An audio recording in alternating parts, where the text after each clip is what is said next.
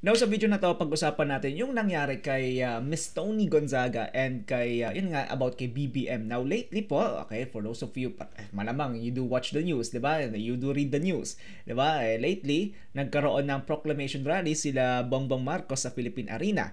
And uh, the host, okay, one of the many hosts is si uh, Miss Tony Gonzaga. And a lot of people from the left, a lot of people from uh, you know, uh, supporters ni uh, Miss Lenny Robredo is, uh, you know, eh, disappointed daw kay Tony, ganyan-ganyan, walang utang na loob sa Kapamilya Network, uh, yun, basta all sorts of uh, negative connotations sa kanya binigay eh. ba? And again po, wala akong makitang dahilan, okay, kung bakit you have to cancel culture, 'di ba? Cancel Miss Tony Gonzaga. Okay, just because somebody has a different feedback or opinion or uh, political presidential candidate than you, eh, hindi ibig sabihin niya na ika-cancel mo na. Again, if you watch yung sa Vincentiments, yung sa episode 1, okay, 'di ba sinabi na kapag uh, uh, iba-iba ng uh, tipo ng kape ang isang tao, somewhere along those lines, okay? So yung timpla mo is hindi necessarily, you know, timpla niya Okay, so same thing din po with life. You know, can I just uh, can I just share a story sa inyo now? Now, uh, way back uh, 2020 when I started Manhood Tycoon, I did get a lot of uh, negative feedback as well. Okay? Tapos, at the same time, may mga tao din na would try to cancel. Diba? Again, mali po yung concept ng cancel culture because again, you are trying to suppress the opposing idea. Gusto mo ikaw lang yung tama palagi. Gusto mo ikaw lang yung number one, pabida-bida ka. Uh, gusto mo ikaw lang yung papakinggan. Yan ang yan ang pinaka basic ng cancel culture ngayon. Hindi kami lang tama, i-cancel natin 'to. Tapos they would abuse their uh, uh, the rules and regulations ng ating mga websites, ng ating mga batas. Oh, now, ito uh, kanina lang din, uh, actually umaga ako nagfi-film right now eh. Okay? Uh, kanina lang din, uh, pinanood ko yung uh, latest video ni uh, Attorney Libayan. Okay, I'll put the link yung uh, sa video about sa Axie Infinity. Ni-report yung channel ni Attorney Libayan because daw scam daw yung ginagawa niya. Eh, ang ginagawa lang naman ni Attorney Libayan is, uh, you know, eh, nag-share lang naman siya nung uh, uh, bakit ganito, bakit hindi maganda yung ginagawa ng Axie, ganito, ganito, ganyan. Eh, wala namang scam doon. Now, sinabi naman ng iba, depends ng iba, na ano daw, na paulit-ulit lang daw na puro Axie Infinity. Now, sa YouTube po, if you read ang ating guidelines, meron po tayong rule about reuse content and repetitious content. It may be a topic na the same, pero po iba po yung nilalaman, iba po yung content sa loob. Okay? So, hindi po siya scam. Okay? For those of you who don't read yung YouTube community guidelines, ako you have to read it. Bago kayo magbitaw sa comment section ng mga content creator dito sa social media na, ah, hindi, mali ka, ganito, ganito, ganyan. Mali ka, cancel culture, ganyan. I mean, same same principle din kay uh, Miss Tony Gonzalez. Pati nga si Paul Soriano, eh, si Direct Paul Soriano, dinamay din nila eh. Di ba? Now, nung, uh, again, it, it goes back din sa sinabi ko way back to November 20, 2021 uh, anong video nga ulit yon I forgot. But uh, yeah, hanapin ko mamaya. And uh, sinabi ko doon na, you know, eh, magkakaiba ng backyard ang mga tao, eh, you have to mind your own. Uh, what works for me not, does not necessarily work for you. And what works for you may not necessarily work for me. Okay? Hindi po lahat ng tao pare-parehas ng background. Okay? So wag ho tayong narcissistic. Ang cancel culture kasi is again, oh, it's based on narcissism kasi. Gusto hindi ako lang yung tama, ako lang yung uh, mali kayo, mali yung mga taga BBM, ah mali yung mga taga Lenny. So ngayon, eh opposing nag, naglalaban ngayon sa mga comment section. Now it is wrong because again, you're wasting your time and energy on arguing with uh, you know, with somebody on the internet na hindi mo naman kilala sa personal.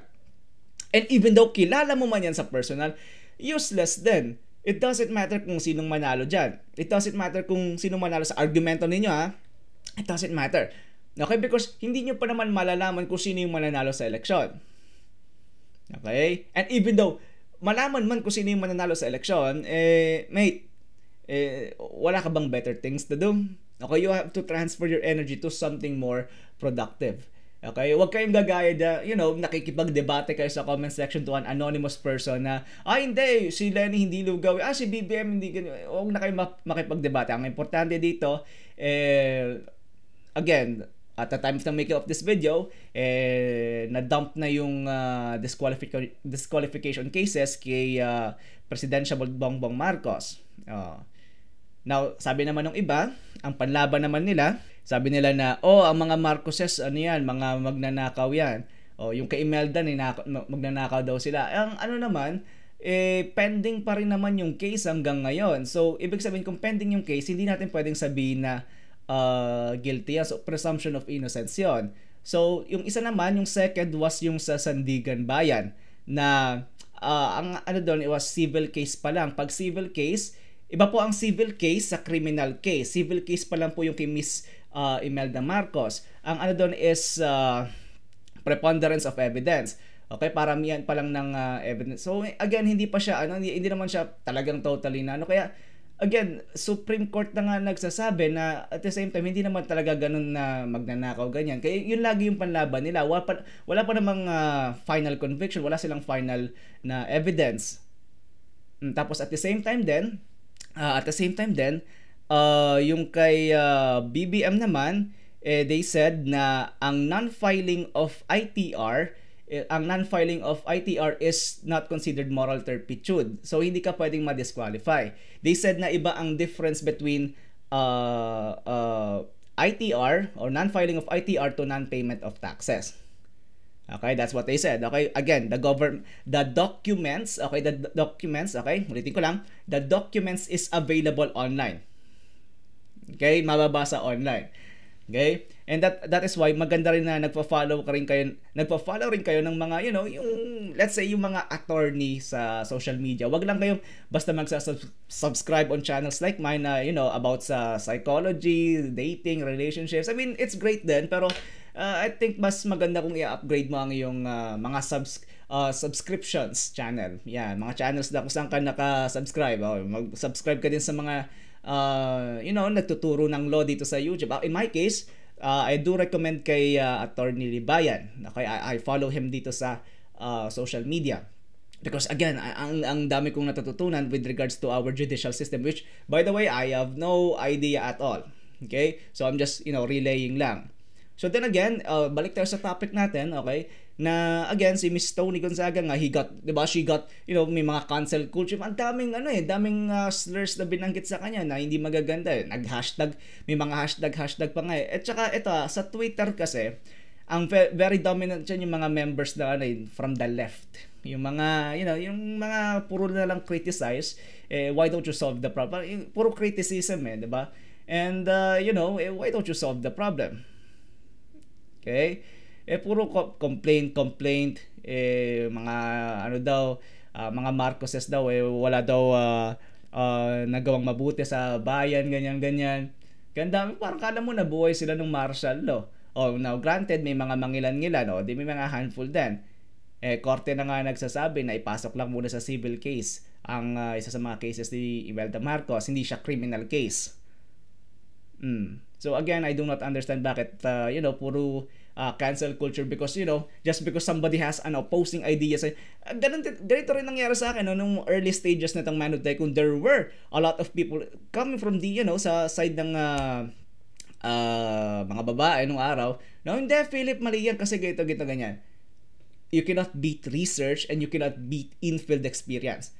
Okay? You could always verify lahat ng tinuturo ko in the field Okay? Actually, nauna sa akin yung in-field experience bago yung mga research sa YouTube, sa mga Google, basa ka ng mga uh, libro, okay? PDF ganyan, okay? And also yung mga audio tapes, cassette tapes. Okay, I have the digital copy ng mga cassette tapes on, you know, as I call that, the old school uh, Tony Robbins type of uh, cassette tapes. Okay, so very, very old school. Di ba?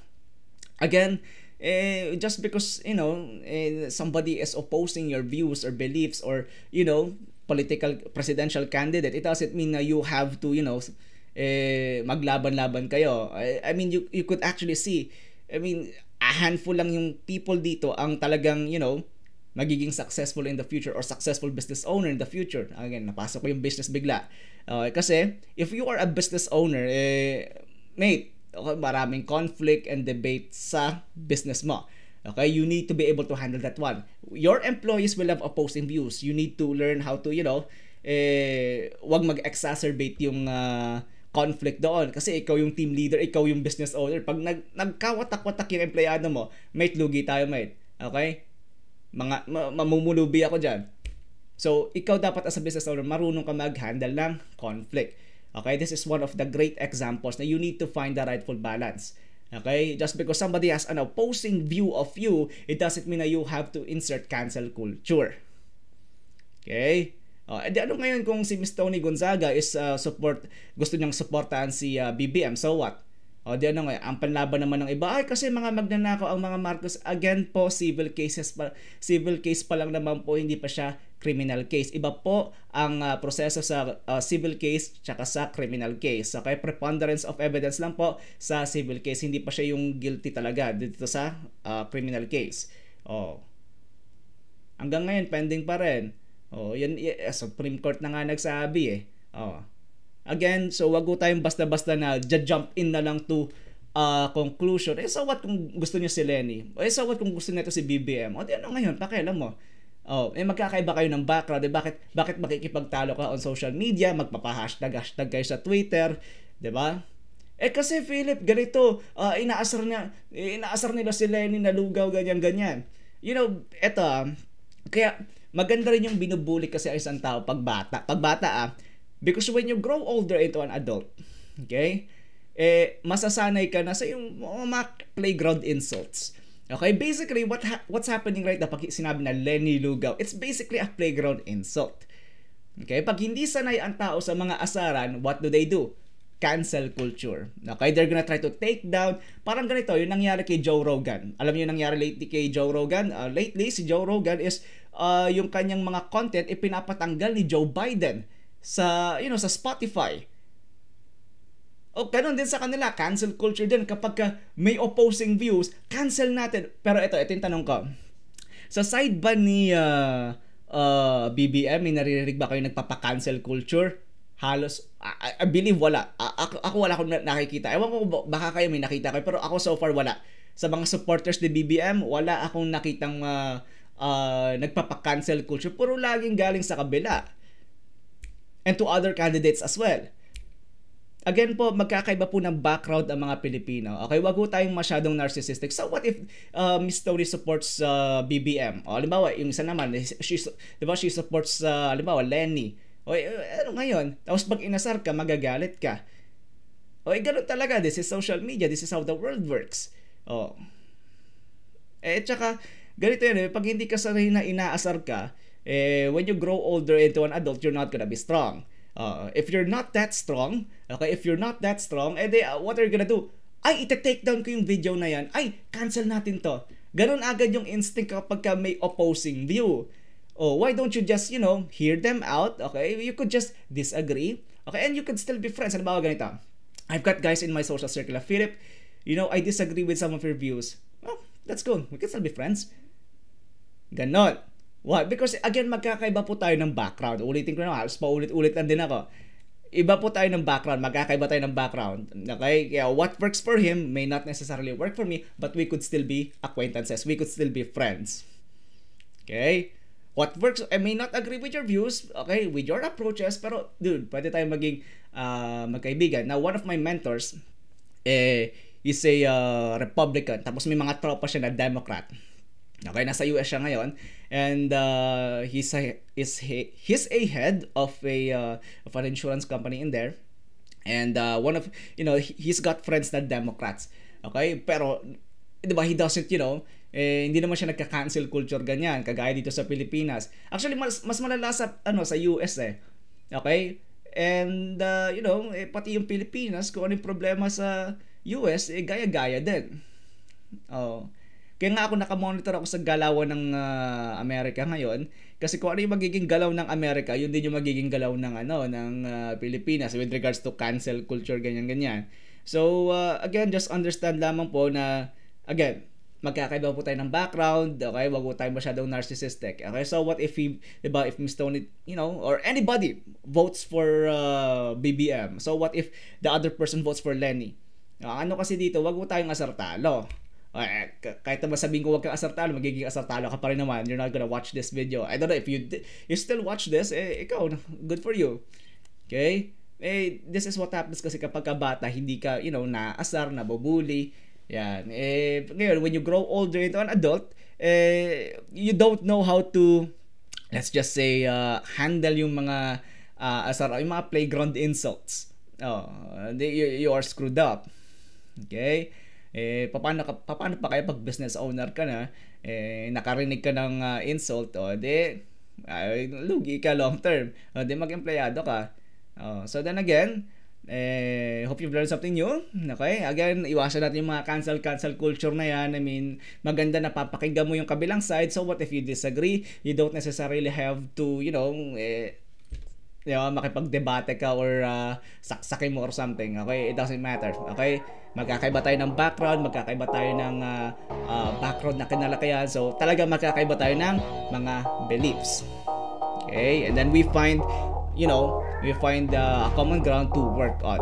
Okay? So then again, hope you learned something new. Be happy, be healthy, and most importantly po, to God be all the glory. Keep safe. Ingat.